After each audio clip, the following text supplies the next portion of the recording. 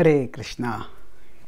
Stop playing games with your mind and with those who play games with your mind. Playing games is often an enjoyable activity. But suppose somebody starts playing games with a dangerous creature.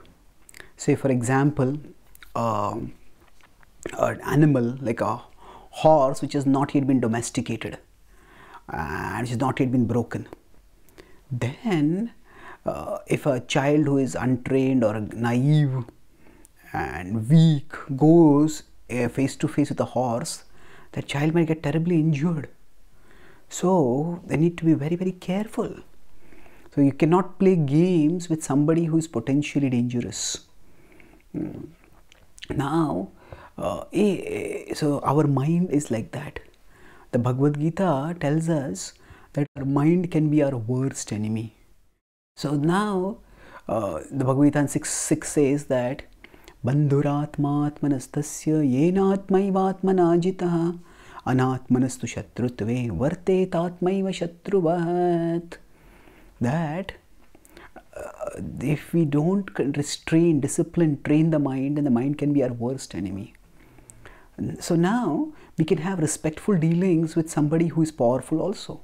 We can even be cordial. But yes, we need to be cautious. Similarly, with respect to our mind, playing games with our mind means taking the mind too lightly, not recognizing how dangerous it can be, and going along with uh, its temptations, its allurements, and letting our guard down.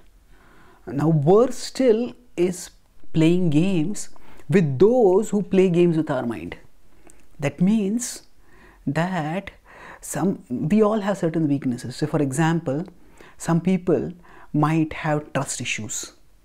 That means their mind is always dread is the worst about others. Their mind thinks becomes paranoid, thinking, "Oh, what if this goes wrong? What if that goes wrong? What if this person betrays me?" And then say they are here their mind is very doubtful. And then somebody comes and fuels the doubts in their mind. So somebody plays games with their mind. That means they just sow one seed of suspicion in their mind. They create fear they create insecurity. And then this person because their then mind takes that one uh, one stimulus and goes on a hyperdrive. And then what happens? Such people who know our weaknesses and who exploit our weaknesses, we need to be very careful to keep a distance from them.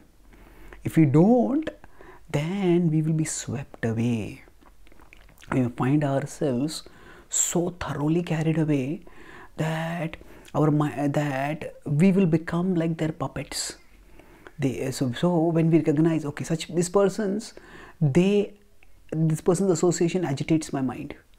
And not agitates in a, to agitate to educate but agitate to uh, agitate to delude agitate to degrade.